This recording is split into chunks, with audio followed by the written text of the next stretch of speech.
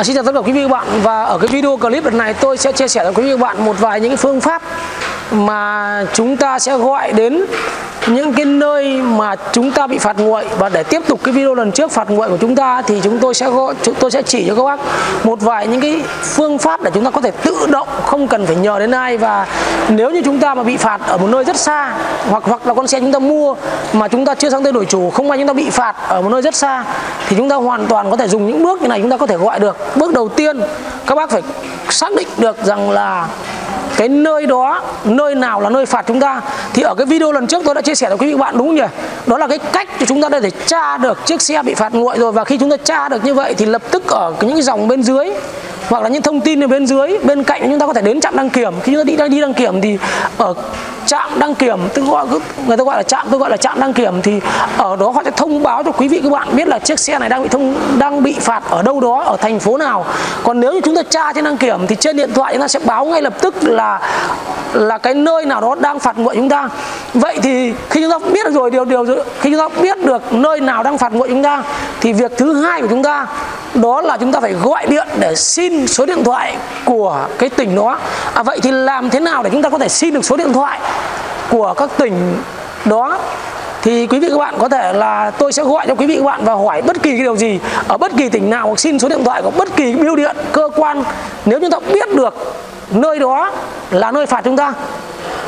À, chia sẻ cho quý vị các bạn biết rằng là cái cái điều chúng ta cần phải gọi đến nơi nào thì hôm nay tôi sẽ chia sẻ với quý vị các bạn là thông tin để chúng ta gọi được thì quý vị các bạn có thể gọi được bất kỳ điều gì có thể đặt vé máy bay có thể là gọi điện là xe khách có thể là xin số điện thoại của uh, cơ quan nào đó ví dụ như là của à, ngân hàng Aribank ngân hàng của BIDV ngân hàng hoặc số điện thoại của công an số điện thoại của phòng cảnh sát bất kỳ điều gì, chúng ta sẽ gọi đến 1068 và tôi sẽ gọi cho quý vị bạn để quý vị biết được rằng là cái việc của chúng ta gọi hoàn toàn rất là đơn giản. Việc thì chúng ta chỉ cần bấm số máy để chúng ta gọi. Thì nếu như ví dụ như là ở cái video lần trước tôi chia sẻ cho quý vị bạn biết rồi, là chúng ta bị phạt nguội. Ví dụ như vậy, chúng ta bị phạt nguội ở nơi này. Tôi sẽ chia sẻ với quý vị bạn. Ví dụ như các bạn, tôi muốn là tìm về thông tin của phòng cảnh sát giao thông thành phố Đà Nẵng chẳng hạn như vậy. Để tôi lấy ví dụ nhá. Còn quý vị các bạn có thể là tự làm được làm bất kỳ điều gì. Ví dụ như này. À, tôi đang cần đó là à, thông tin của phòng cảnh sát giao thông thành phố Đà Nẵng. Tạm dừng đăng kiểm. À thì tôi biết rằng, rằng là ở trên cái đăng kiểm này nó đang bị phạt nguội. Nếu các bạn đến trạm đăng kiểm mà trạm đăng kiểm có thể thông báo thì quý vị các bạn cũng có thể làm việc này giống tôi. Vậy thì khi chúng ta tra chúng ta ra cái điều này rồi thì phòng cảnh sát giao thông thành phố Đà Nẵng, thì bây giờ việc của tôi là gọi đến phòng cảnh sát giao thông thành phố Đà Nẵng để xin số điện thoại và để tôi tra. Thì ở phòng cảnh sát giao thông thành phố Đà Nẵng sẽ có hai loại một loại là phòng hành chính và bên cạnh nữa là chúng ta có một phòng đó là gọi là phòng trực về camera hoặc là phòng trực gọi là phòng trực về cái camera để để để trách để phạt nguội. Vậy thì điều đầu tiên là chúng ta sẽ phải tìm đến phòng cảnh sát giao thông thành phố Đà Nẵng. Và khi đến đấy hỏi người ta là em bị phạt nguội như vậy thì phương thức làm như nào? thì có thể người ta sẽ cho mình số điện thoại của phòng à, trực camera thì họ sẽ thông báo cho mình luôn là con xe bị phạt bao nhiêu tiền.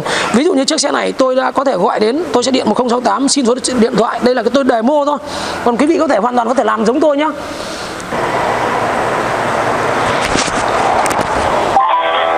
quý khách đang gọi đến tổng đài. Giám Việt mã số 99 xin nghe. Làm ơn cho mình xin của số của phòng cảnh sát giao thông thành phố Đà Nẵng. Thành phố Đà Nẵng đúng không ạ? đúng ạ. Vâng, anh ghi lại số điện thoại giúp em. Mình muốn lấy số của lý hay đội trực ban ạ? Ờ, mình lấy ờ, số của đội trực ban đi. Dạ vâng. 0236 0236 rồi. 382 rồi. 1306 ạ.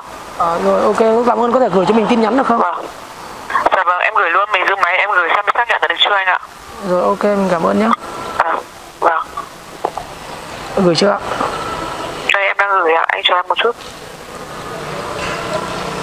Vâng, em đã gửi cho mình rồi đấy ạ. Anh xác nhận là được chưa ạ? Đầu số 198 rồi rồi mình cảm ơn nhé mình đang có việc vội. Dạ vâng, em cảm ơn, em chào anh. Rồi rồi À, quý vị thấy chưa?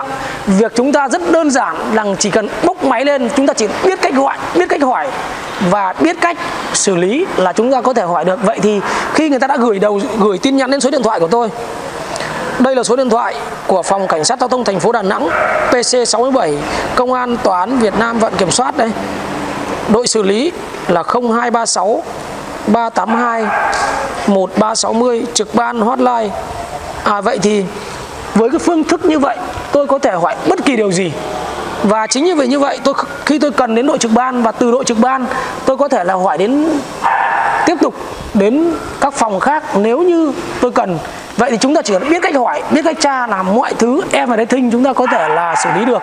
Thì đây là cái yếu tố mà chia sẻ với quý vị các bạn. Thì chính vì từng bước một như vậy, quý vị các bạn có thể là hoàn toàn có thể xử lý cho mình. Bên cạnh nữa, quý vị các bạn cũng có thể là hỏi số điện thoại để mình có thể đi đến một nơi nào đó, đặt vé máy bay, hỏi về ngân hàng, hỏi bất kỳ về cái điều gì, hỏi về bưu điện, hỏi về bất kỳ đâu, quý vị các bạn có thể hỏi được.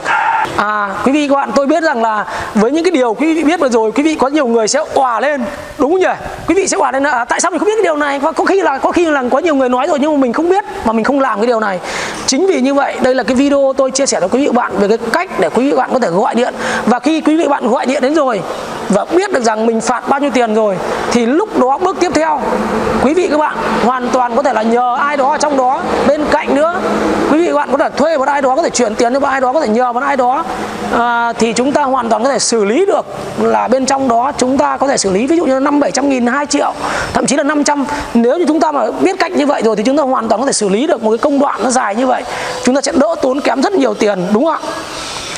Bên cạnh nữa nếu quý vị các bạn mà không biết cái điều này quý vị các bạn có thể là sẽ tốn rất nhiều khoảng thời gian và thậm chí chúng ta có thể bỏ cuộc thậm chí chúng ta có thể là sẽ phải khó khăn trong rất nhiều những lĩnh vực khác nhau thì quý vị các bạn qua đây quý vị các bạn có thể là đã biết được cái cách để làm thế nào đó để mình có thể chỉ bằng một vài những cái thao tác đơn giản để quý vị các bạn có thể hoàn toàn có thể xử lý tình huống phạt nguội cho mình được, đúng không ạ?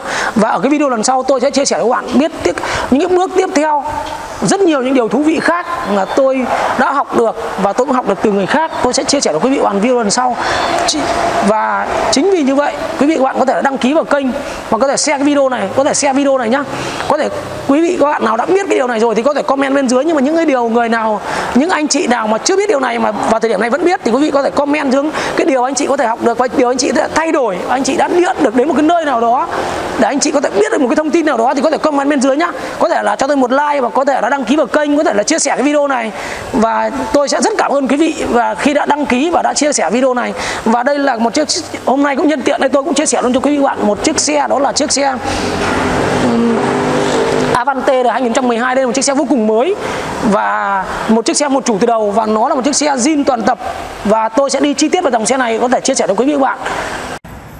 À, chia sẻ quý vị các bạn vào đây là chiếc Avante mà tôi chiếc Avante mà nó khá là là mới. Là nó mới là hiện ở chỗ nào thì đó chúng ta biết rằng đây là xe một chủ từ đầu. Tất cả toàn bộ la răng và chiếc xe này là chiếc xe 4 lốp mới tinh. À, toàn bộ tổng thành xe. Tôi tôi chia sẻ với quý bạn đây. Đây là một chiếc xe hoàn toàn chưa dọn. Nó nó khá là mới này. Đời 2012 số tự động và toàn bộ cái da ghế và tổng thành xe là hoàn toàn còn rất là mới. Chủ rất là giữ chưa qua chủ thứ hai luôn. Quả số này. Vô lăng và xe chạy. Tôi không biết chạy được 11 vạn. Thật. Và nó là một trong những chiếc xe mà có cửa nóc luôn. Khóa cửa này. À, nếu như chiếc này tôi dọn lên thì nó sẽ rất là đẹp xe. Và tổng thành của nó là chúng tôi tôi đi nó khá là chắc chắn. Và đây là toàn bộ phần khoang máy phần đầu này chưa dọn nữa. Và chúng ta biết rằng là những chiếc xe chưa dọn nó nhìn cái nỉ nó như thế này. Đó. thì với cái người tầm tiền như con chiếc xe này nó khoảng 365 triệu. Vào thời điểm trước thì nó có thể đắt, đắt hơn. Nhưng vào thời điểm này thì nó chỉ đời 2012 nó chỉ chênh một chút so với chiếc xe Forte đời 2009 hoặc 10 với cái tầm tiền như vậy thì đây là một chiếc xe form nó dáng nó khá là đẹp nội thất và đi nó không ồn lắm. Và màu đen, chúng ta biết rằng là tổng thành xe thì quý vị các bạn có thể nhìn thấy được và có thể đánh giá được.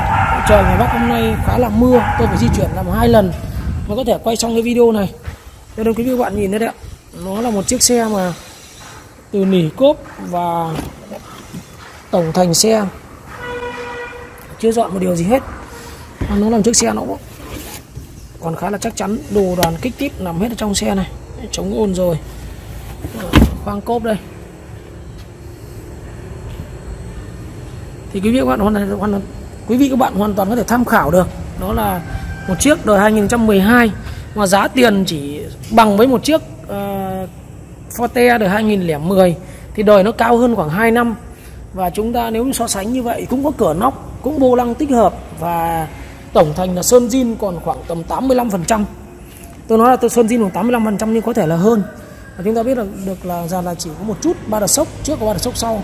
Xe mới ờ, sơn thôi cho nên quý vị hoàn toàn có thể yên tâm về cái dòng xe này. Thì đó cái video tôi chia sẻ với quý vị bạn và nhớ rằng là hãy đăng ký kênh để chúng tôi khi tôi phát video lần sau quý vị bạn là người có thể nhận được được uh, cái video của tôi lần ngay khi tôi phát lên rất cảm ơn quý vị đã xem video và ủng hộ trong khoảng thời gian qua và chúc quý vị các bạn một buổi chiều thật là vui vẻ hạnh phúc bên gia đình. Và nhớ rằng comment những điều quý vị các bạn có thể đã học được và quý vị các bạn có thể là đã đã quý vị bạn có có thể là đã gọi được uh, ở cái video này nhé à, chúng ta sẽ gặp lại nhau vào những video clip tiếp theo.